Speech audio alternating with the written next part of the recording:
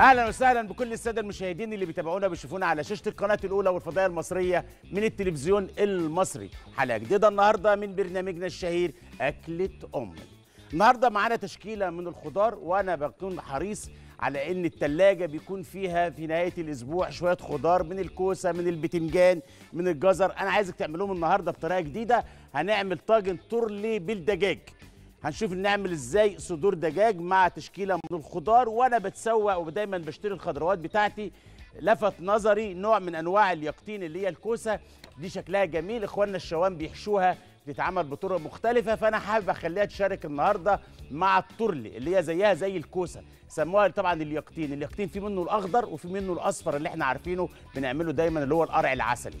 هنشوف النهاردة طاجن تورلي بمدرسة مختلفة. معانا النهارده الريزوتو هنعمله بالجبنه الموزاريلا والأعشاب. الريزوتو بيتعمل بالرز المصري أو بلسان العصفور اقتصاديا لأن في نوع من أنواع الرز بيتعمل. ريزوتو سعره غالي جدا ولكن للأمانة والصراحة الرز المصري طعمه أحلى بكتير منه. فأنا هعمل الرز المصري النهارده ريزوتو مع الموزاريلا والأعشاب ونشوف نعمله مع بعض إزاي بطريقة بسيطة وسهلة. والأكلة دي هتعجب الأطفال قوي. أما تشكيلة من الفواكه النهارده والصراحة داخلين على الشتاء وأيام الشتاء ما بين الصيف والشتاء شايف التفاح والموز والعنب فواكه كتيرة في السوق والمانجا. فأنا معايا النهارده عصير كوكتيل على طريقه الخاصة. الفواكه مش هتنضرب في الخلاط. الفواكه تتقطع زي الفروت سلطات مع عصير برتقال مع نوع من أنواع المكسرات. ممكن يكون عين جمل ممكن يكون لوز. يا صباح اللوز عشان اللوز غني جدا بأوميجا 3 وإحنا محتاجين ندعم ولادنا بالأوميجا 3 عشان ما ينسوش الدروس بتاعتهم. اسمحوا لي اطلع فاصل صغير عشان نحضر للحلقه بتاعتنا. وحلقة مميزة اوعى تروحوا بعيد تابعوني بعد الفاصل.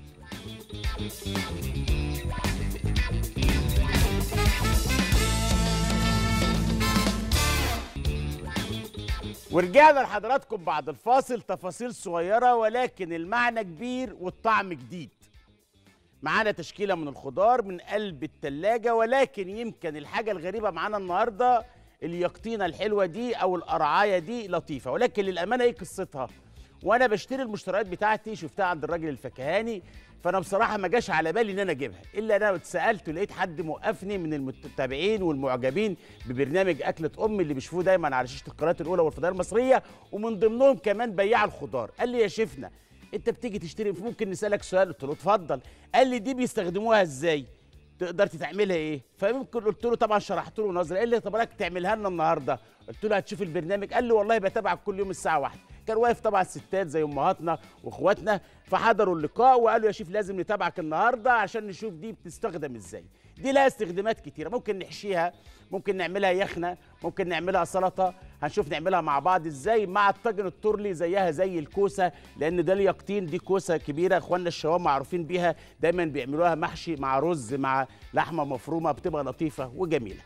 مقادير التورلي بالدجاج على الشاشة. صدور فراخ كوسة بتنجان ومعانا جزر ومعانا كرفس وبقدونس وشبت وزبدة وملح وفلفل والتوابل اللطيفة ما ننساش الطماطم وعصير الطماطم. المقادير على الشاشة في متناول الجميع ولكن الخبرة الطهوية والإبداع الطهوي عندنا وبس. تعالوا نشوفوا نعمله مع بعض إزاي طاجن تورلي. أول خطوة أعملها هاخد اليقطينة دي أقطعها. حلو الكلام؟ كده. الله. ونقطعها نصين. حلوة. تسلم إيدك يا عم الشيف. إيه القلب الأبيض ده؟ حلو. هناخد قلبها ده كده. نقورها يعني. حلو. أهو نشيله بالراحة كده. القلب ده ممكن يتفرم ويتح... يتفرم ويتقطع مكعبات صغيرة ويتحط مع طبق بيض ويتعمل أومليت يبقى لطيف. اختياري ده كله يعني زي ما أنت عايز. شيل ده كده. نخليهم هنا دول. وأقول لك أنا هعمل فيها في الآخر.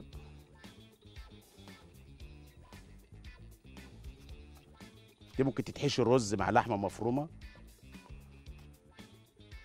آه ما برافو عليكي. ما ده اللي أنا بقوله دلوقتي ده يتقطع ويتحط في مع بيض ويتعمل أومليت. خدي بالك؟ أهو. نخلي دي كده على جنب. نفس القصة. أهو. نشيل ده كده؟ سهل جدا خالص أهو. تمام زي الفل. ده قيمته الغذائية عالية جدا. يعالج الإمساك. حلوة جدا للقولون من الخضروات الغنية بالألياف. حلو الكلام. أهو. سعرها والله رخيص جدا على فكرة. أنا دايما ما بحكمش على الحاجة إذا كان سعرها غالي ولا رخيص أنا بشوف القيمة الغذائية بتاعتها إيه المضمون بتاعها؟ إيه هدفها؟ يعني ممكن تكون حاجة غالية جدا وملهاش أي قيمة غذائية منظرة. طب وليه؟ طب أنا أجيب الحاجة زي البتنجان مثلا. مسكين حبيبي ده حبيب قلبي ده. عشق البتنجان. سواء بتنجان عروس سواء بتنجان رومي. آه في كل حاجة تلاقوه زي الفل. نعم يا غالي إن شاء الله هوعدك بإذن الله. قال لي أنت وعدتنا نعمله آيس كريم. انتظروا مني إن شاء الله الأسبوع الجاي. اللي بيتعمل مع الجوز وعين الجمل اللي هو المكدوس. زيه زي الآيس كريم على فكرة. المكدوس ده لما بيستوي في البرطمان ويطلع مع زيت الزيتون مخلوط بالفلفلة الحلوة وعين الجمل الواحد بياكله كأنه بياكل آيس كريم. طيب هناخد اليقطينة دي نحطها كده. محتاجين نقطع ديك شوية عشان تنزل في قلب الطاسة كده. وهناخد دي كمان نحطها كده. بسم الله. وتنزل كده. إيه رأيك في الشغل ده؟ حلو قوي هناخد بقية الخضار. نقطعه. شوية خضار كده حلوين من اللي عندك. بسم الله الرحمن الرحيم. منهم الخضار ومنهم البصل. ومعانا كمان القلب بتاعها ده كده. الله حلو قوي. بيقولوا في الكنترول مش هتعمل لنا حلاوة المولد. طبعا بإذن الله عاده ما تتقطع يا رب. الأسبوع الجاي هنعمل حلاوة المولد. كل عام وحضراتكم بخير. كل اللي بيتابعونا على شاشة القناة الأولى والفضائية المصرية في أنحاء العالم. لأن زي ما حضراتكم عارفين طبعا الفضائية المصرية بتتشاف في كل دول العالم. فرصة من الشاشة العظيمة بنهنئ كل الدول الإسلامية والعربية بالمولد النبوي الشريف. وإن شاء الله يكون لنا موعد مع حلاوة المولد بطرق سهلة وبسيطة وفي متناول الجميع. أولهم الفولية. اللي هي الفول السوداني بتاعنا. هناخد الجزر نقطعه كده. الترل ده يتقطع حتت صغيرة مش كبيرة. زي ما أنا شغال كده. آه نعم. لا حلاوة المولد السنة دي مالية السوق بأشكال وألوان وإبهار. ولكن عشان نبقى واضحين مع بعض وفي صراحة يعني. هنقول سعرها غالي ما بتكلمش عن الغالي والرخيص. أنا عايزك تعملي حلاوة المولد في البيت. سهل جدا وأنت راجعة من بره هتجيب لحماتك كيلو حلويات المولد. بس في فرق لما تقولي لها أنا عاملة لك النهارده يا تيتا يا نينا عاملة لك النهارده الفولية بإيدي. أنت دايما بتحبي الحبهان وتحبي الهيل دايما بتحبي القرفة فكتر فكترت لك القرفة فيها. آه يعني ممكن نعمل حلاوة المولد بالقرفة والحبهان ممكن. الكلام ده مين بيعمله؟ الشيف المغازي. ده بتنجان. عشقي. آه. مع الخضار. اللهم صل على النبي. ممكن تعملي حلاوة المولد بالمستكة؟ آه. دي الكلام ده. طبعا مش هتلاقي الكلام ده في المحلات بتاعة الحلويات. هناخد دي الكوسة. دي الكوسة الصغيرة بقى. الميني كوسة. هي زيها بالظبط. لو نقطع دي كده مخرجنا الجميل برضه عشان السادة المشاهدين نقرب المسافات شوية لبعضينا. دي حباية الكوسة الصغيرة أهي. نفس القلب. بس دي صغيرة ودي كبيرة. آه ده القلب بتاعها نفس القصة تلاقيه السفنج كده أهو. نفس الطريقة. حلو. نقطعها كده. وناخد الخضار الحلو ده كده. تشكيلة بالخضار أهيت. معانا بصلاية حلوة. البصلايه دي مش هحطها مع الخضار.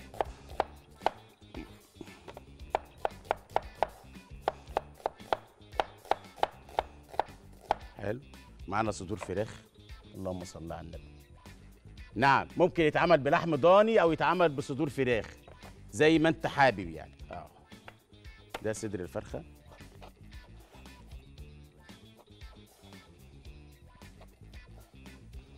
تقطع مكعبات صغيرة كده.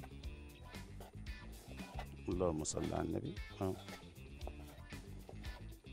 عندك مكعبات لحم ضاني ماشي. عايزة تعمليه بالكلاوي ماشي؟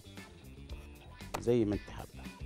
ما شاء الله ده صدر ديك رومي ده ولا صدر فرخ ربنا مبارك. آه، زي الفل.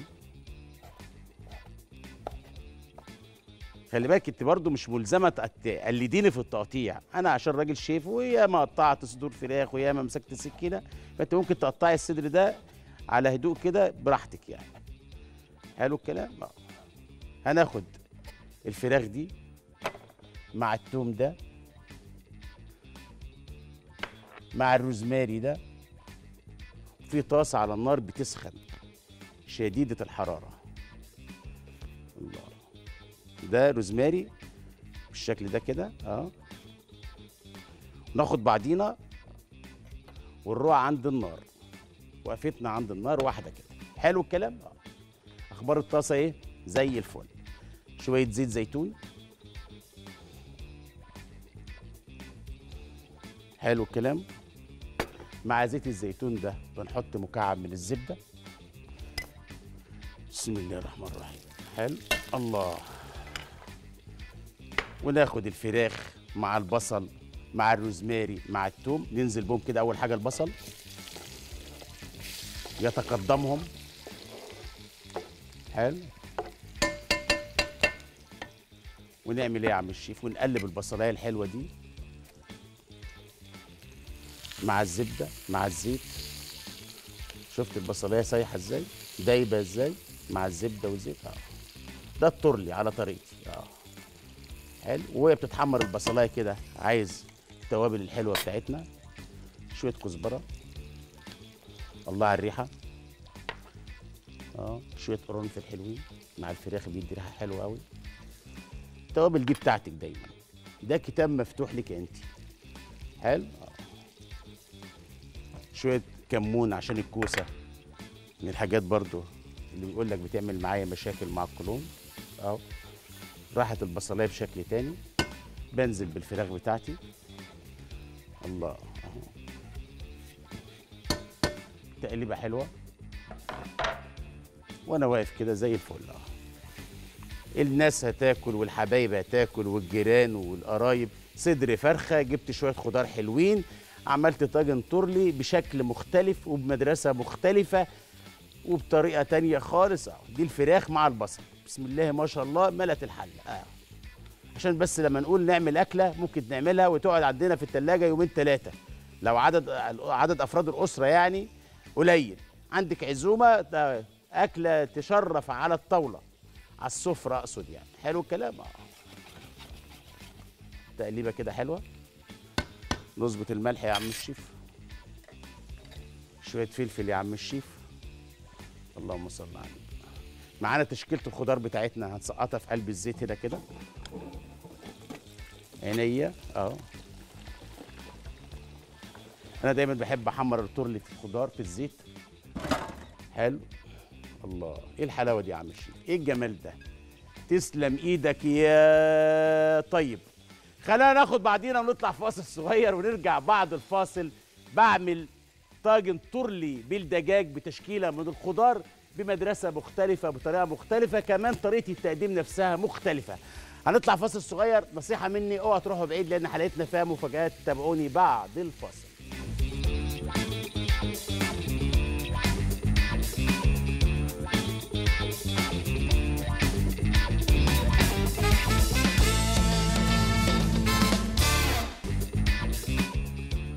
ورجعنا لحضراتكم بعد الفاصل. خلونا نقف محطة هنا بسميها دايما محطة الإبداع وإن إحنا نكونوا نقدر في بدايل. فبيقولوا لي في الفاصل إيه؟ ما إحنا ممكن نحشيها لحمة مفرومة وفراخ وبس ممكن. اللي هي اليقطينة الحلوة دي كده خلي بالك. نفس الطريقة ممكن نعملها مع اليقطين اللي هو القرع العسلي. الطريقة اللي أنا شغال بيها على فكرة. نفس القصة بس اليقطين اللي هو القرع العسلي القلب بتاعه ما ينفعش أستخدمه زي قلب اليقطين الأخضر. ده فرق بقى.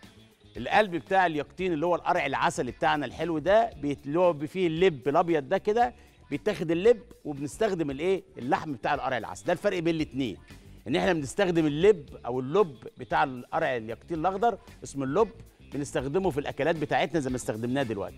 أما القرع العسلي لا ده بيتاخد اللب طبعا وبيتصنع وبيتقدم نوع من أنواع الإيه؟ المكسرات.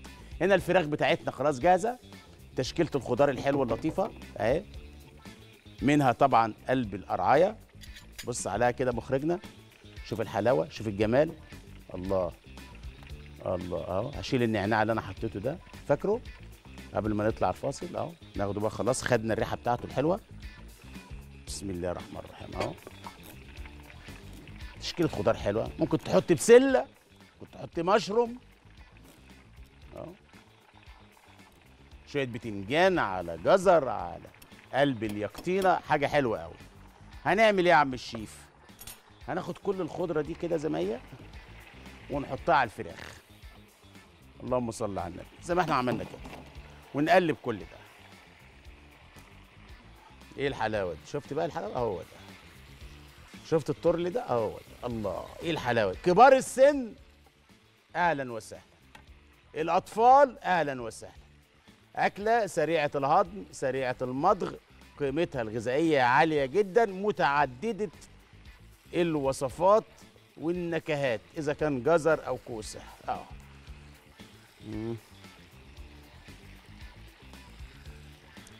الله سؤال وجيه إيه الحلاوة دي؟ قال لك بالخضار ده ممكن بدل ما نقليه في الزيت ندخله الفرن آه بطريقة صحية.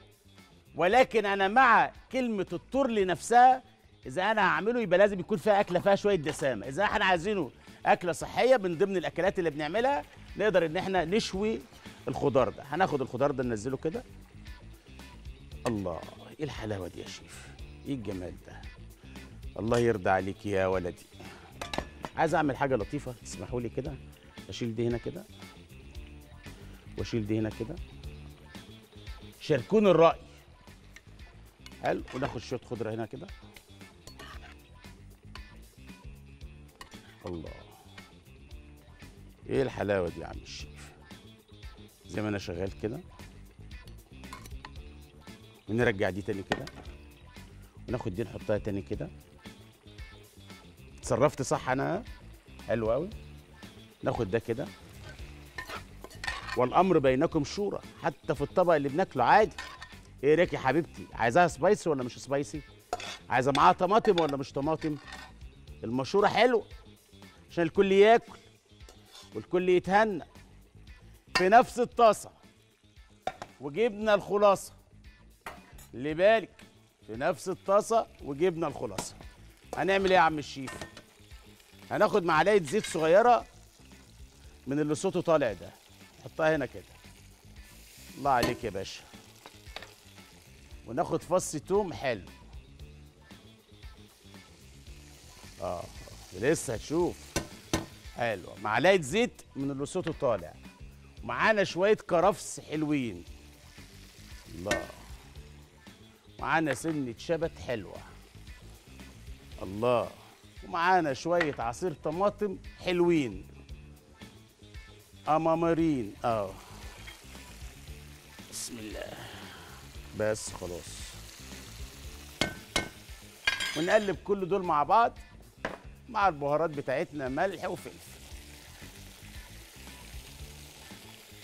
حلو قوي يلا بينا يلا بينا. الله على الحلاوة الله على الجمال. شفت بقى الموضوع يفرق إزاي؟ هو ده ده التيست والطعم. كعب زبدة لطيف حلو كده. يلا بينا. وهنغلف. ونروق على اليقطينه الحلوة بالخلطة الحلوة دي كده. الله على الريحة الحلوة. دمتي تنزل مع الخضار بالشكل ده كده. اللهم صل على النبي. أهو. الله. درجة حرارة الفرن عندي 180 ادخلها الفرن مطلوب من الفرن هنا إن اليقطينة دي تستوي وهي مش تاخد وقت كتير في السوا على فكرة ولازم ما تستويش جامد. آه بالتفاصيل دي كده. عينيا أهي بره. حلو. ودلع لي والنبي الطاجن ده. الله يرضى عليك. شفت الحلاوة والجمال؟ درجة حرارة الفرن عندي 180 يا عم الشيف. هندخلها الفرن المطلوب من الفرن يساوي لي اليقطين ده. حلو الكلام؟ عندي كده حبيتين طماطم شيري. الجو ده حلو على فكرة. جو مش مكلف بس فيه شكل فيه مضمون فيه presentation آه الحار. يا نعم حاضر. ناخد فلفل حار. بتحبوا الحار؟ عينيا. آه. يلا. شفت الحلقة حاجة محرمشة كده. حلو. يلا ندخله الفرن مع بعض. يلا بينا. بسم الله الرحمن الرحيم.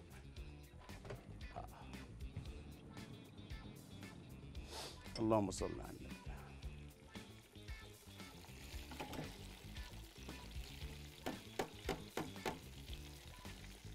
يلا بينا.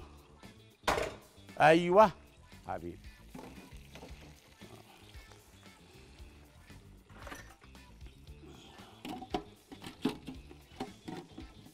يلا بينا. اللهم صل على النبي. هو ده.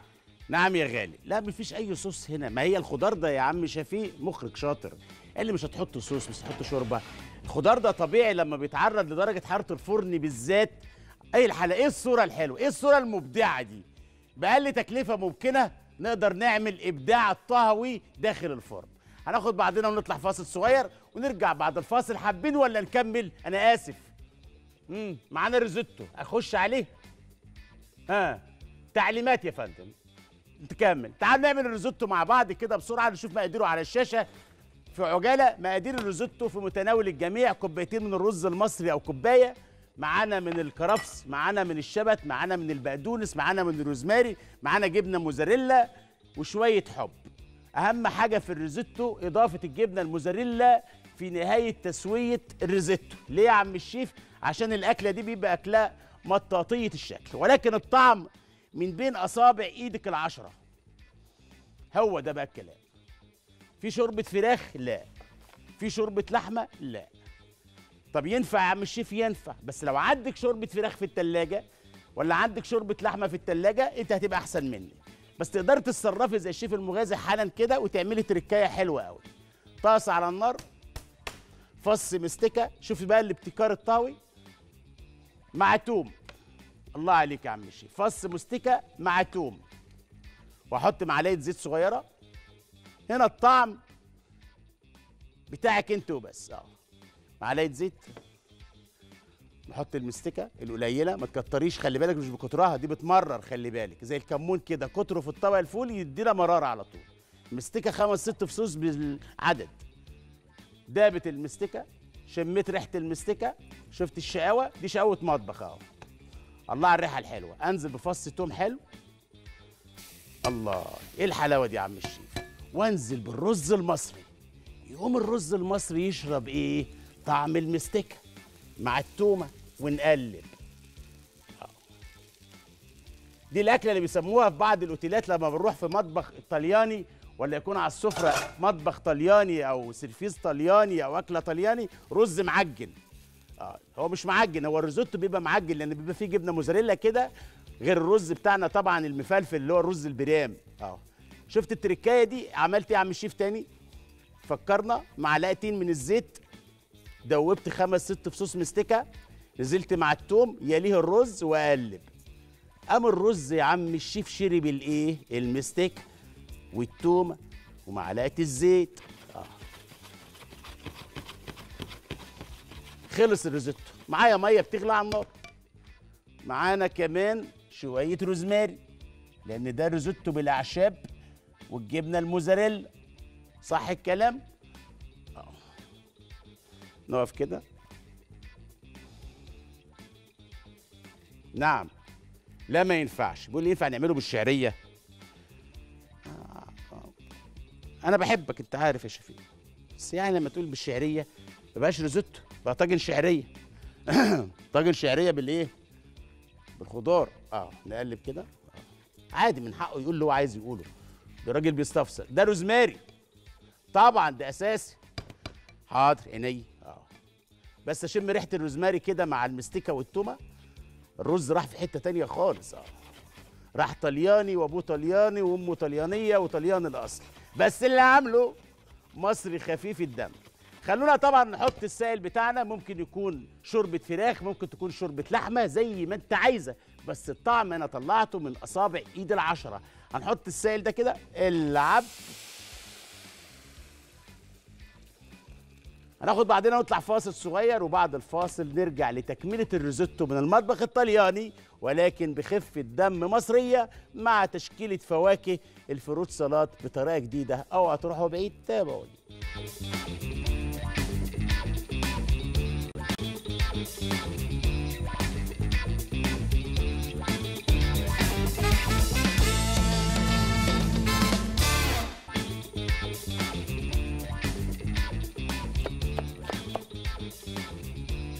بدكم بعد الفاصل نشوف مع بعض شوية خضار شوية أعشاب إذا كان فلفل حار إذا كان بقدونس إذا كان كزبرة شوية روزماري حطيناهم في البداية. والله أنا عايز أسمعك صوت يجوع. إيه رأيك؟ أنا هسك... مش هس... مش هعمل أي حاجة خالص.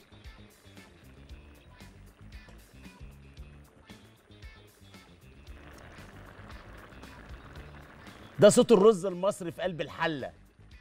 بيبكبك. بالطريقة الطلياني. سامع اللغة دي؟ بقول لك تحيا مصر. العب. هنقطع الخضار ده كده؟ بالشكل ده كده. آه. ولا لازم أروح اشتري كيس الرز. شفت والله في السوبر ماركت لقيته عامل مبلغ مستورد. ما أعرفش جاي من طليانة كده شفت قال made in يا عم ما الرز المصري زي الفل اهو. أحلى الريزوتو ياخد الموزاريلا دلوقتي وياخد الخضار وياخد الحاجات الحلوة. آه. ادي فلفل. أهم حاجة إنك أنت تخدمي عليه صح. إيه فده شيله عيني. آه آه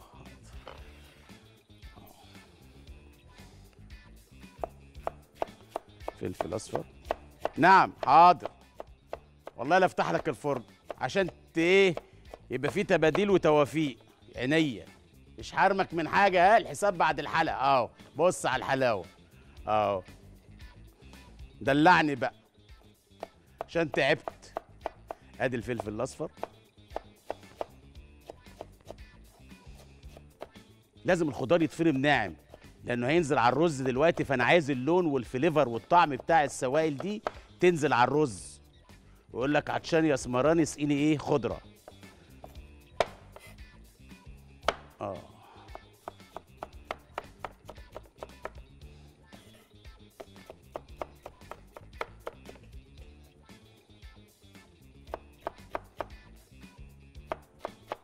ناخد التقطيعات الخضار دي كده كل الخضرة دي كده.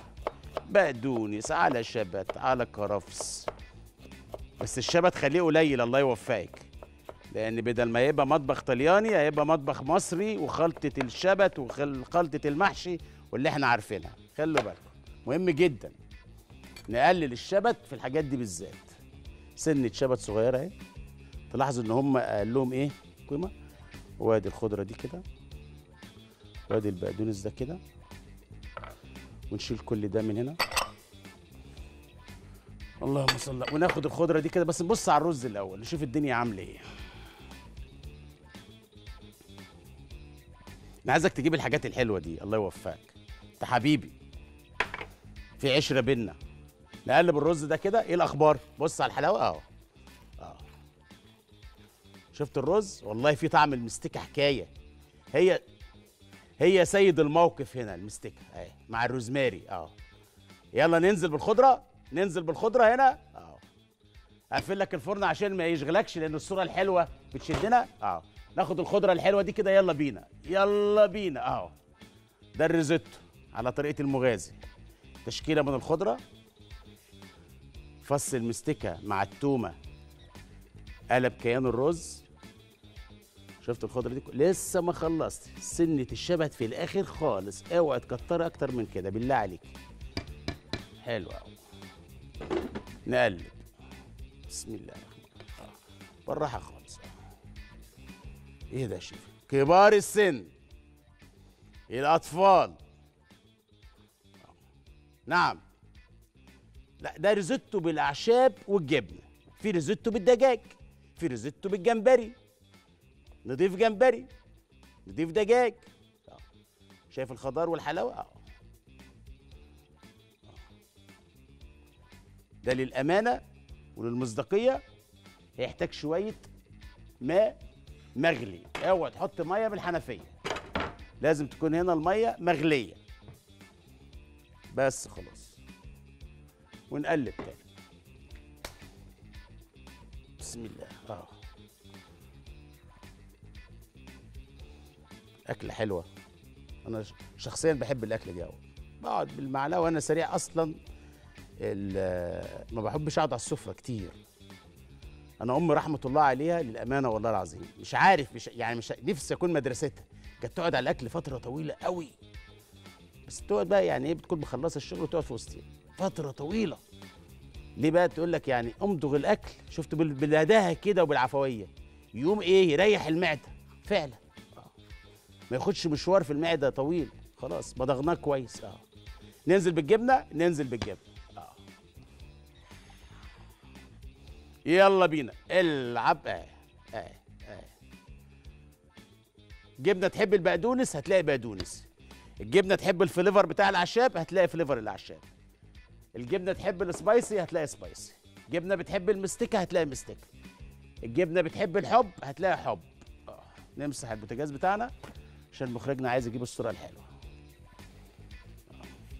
معايا طماطم شيري في الآخر خالص هزين الطبق بتاعي بالطماطم الشيري دي كده. وهنشوف هنزينها إزاي بسم الله الرحمن الرحيم يا الله حلو دي.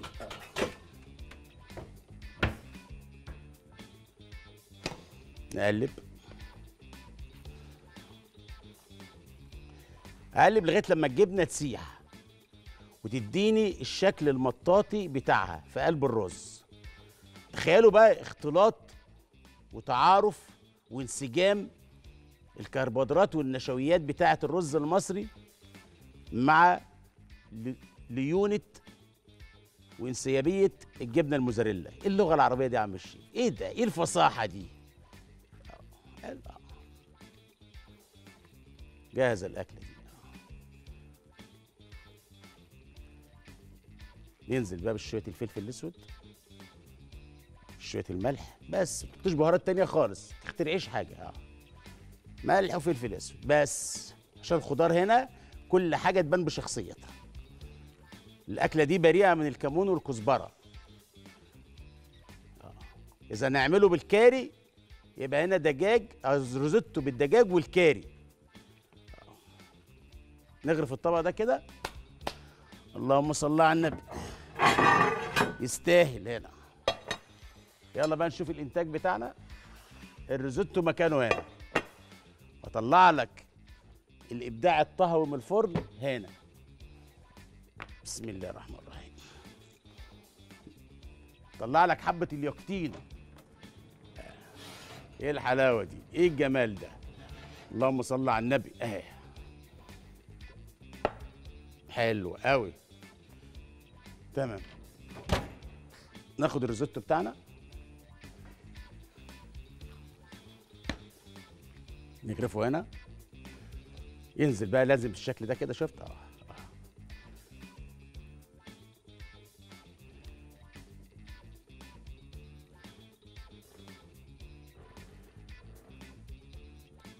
حد يقول لي الأكلة دي شبيهة لإيه؟ للأمانة. اللي هيقول لي بس اللي يعرف الكلام ده إخواننا في الدول العربية. وحبايبي في الدول العربية وخاصه السعودية والإمارات والكويت والخليج اللي بوجه لهم تحية كبيرة. حد يقول لي إيه هي؟ سامعك. سامعك يا ست الكل اللي هو السليج.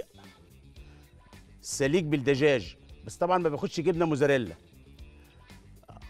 ولا بياخد الخضرة دي الرز بيبقى بنفس الطريقة دي كده وتحط عليه الدجاج والسمنة البلدي واللومي. حلو الكلام؟ طاسة على النار فيها معلقة زيت فيها شوية الطماطم الشيري دول. الله سنة الشبت دي. عصرة الليمون دي. العب.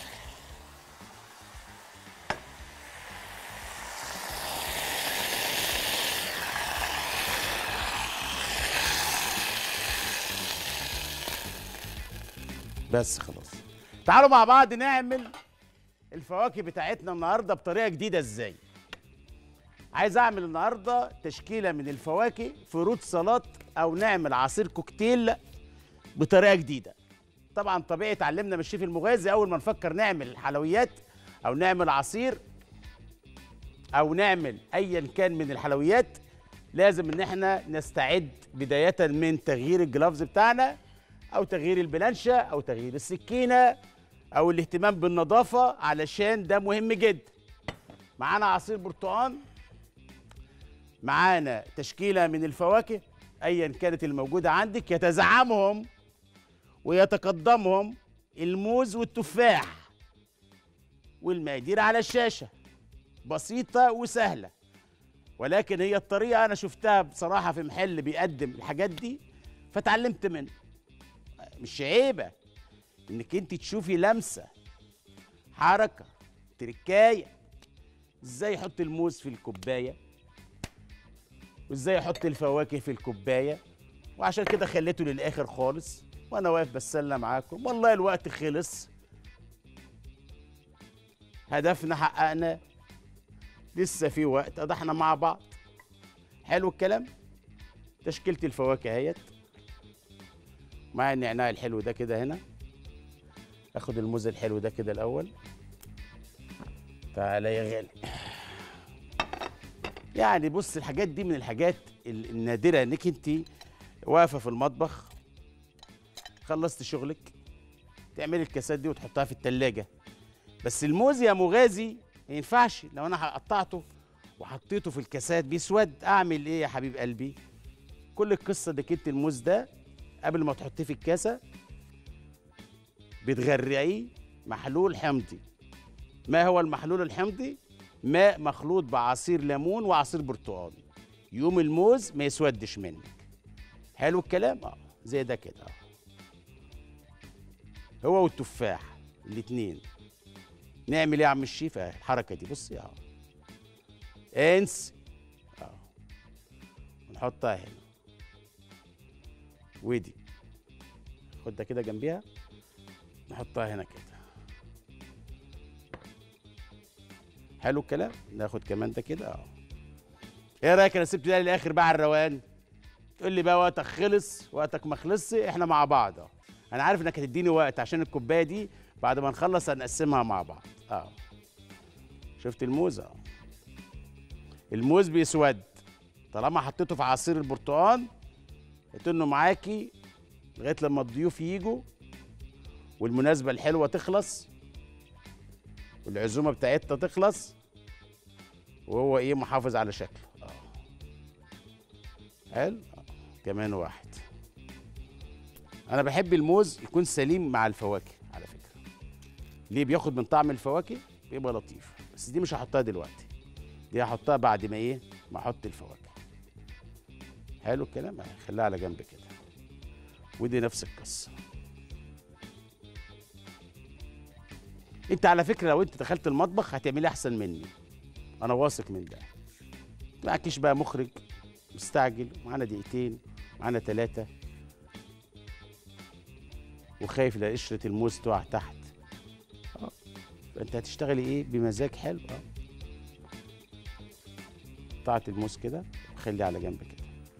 ناخد الفواكه الحلوة دي كده بعد ما نحط عليها السكر ده كده ونقلبها. ممكن تحط عسل. ممكن تحط شربات. ناخد الفواكه دي كده. اللهم صل على النبي. نحطها هنا كده. الله. نحطها هنا كده. الله. آه حطي دي كده هنا. أهو. شفت الشقاوة دي؟ أهو. طلعهم لك دلوقتي في الأمام. حاضر. عينيا. خرجني عايز أشوف الحاجات الحلوة دي كده.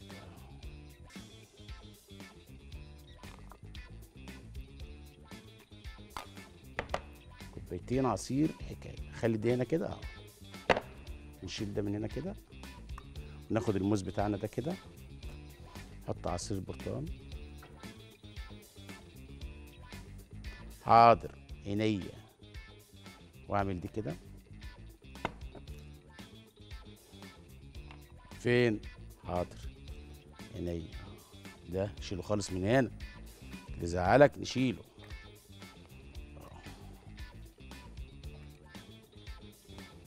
حلو دي الموزة دي كمان. في عصير البرتقال نزلت. ماشي. ناخدها كده أهي. أنا عايز بس الأولاد نشد انتباههم. وعندنا الكلام ده في البيوت. الأولاد مش بيحبوا ياكلوا الفاكهة صحيحة زي ما هي كده. يحبوها متقطعة. يا إما أسنانهم ما بتقدرش إن هي عندهمش صبر يمضغوا التفاح. فلما ليه متقطع كده ياكل. يا إما يعجبه اللون والشكل بتاع الكوباية. الكاسه اللي مغروفة. هياخد يقول لك واحد كوكتيل. البعض بيحط افوكادو هنقول الافوكادو سعره غالي شوية. ما يهمكيش. معاك شيف بيوفر لك أهوت. ده عصير برتقال. لسه ما خلصتش أنا. أوميجا 3 هنا هتتحط. عندك شوية لوز. يا مزاجه اللوز. عندك شوية عين جمل. والله ايس كريم فانيليا مش مرغوب هنا لأن في عصير برتقال سائل. في حالة لما يكون fruit salad نحط ايس كريم فانيليا عندنا اللوز أهو. فكرة إن أنا بقى أزود اوميجا 3 يكون مطحون بالشكل ده كده أهو. الأولاد بيحبوا الحاجات دي على فكرة. أهو. يقوم اللوز هنا مع عصير البرتقال يدوب. الأولاد يستطعموه بألف هنا وشفا. حلقتنا النهارده بساطه سهولة مرونة. موفرة؟ آه. مش مكلفة؟ آه. وحضراتكم أنتوا اللي هتقولوا مش أنا. عملنا الريزوتو بالرز المصري بيتكلم مصري. عملنا طاجن تورلي بالدجاج لطيف وجميل. عملنا كوبايات من الكوكتيل على طريقتي وأنا واثق إنك لو هتعمليه هتعمليه أحسن مني.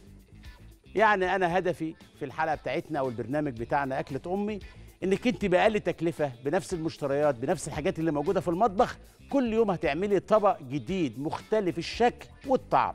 لأن معاكي شيف شاطر دمه خفيف بيهزر معاكي بيخرج بره الموضوع وبيأدي الهدف بطريقة لطيفة. رؤيه فن إبداع شوفوا كل يوم على شاشة القناة الأولى والفضاء المصرية من ماس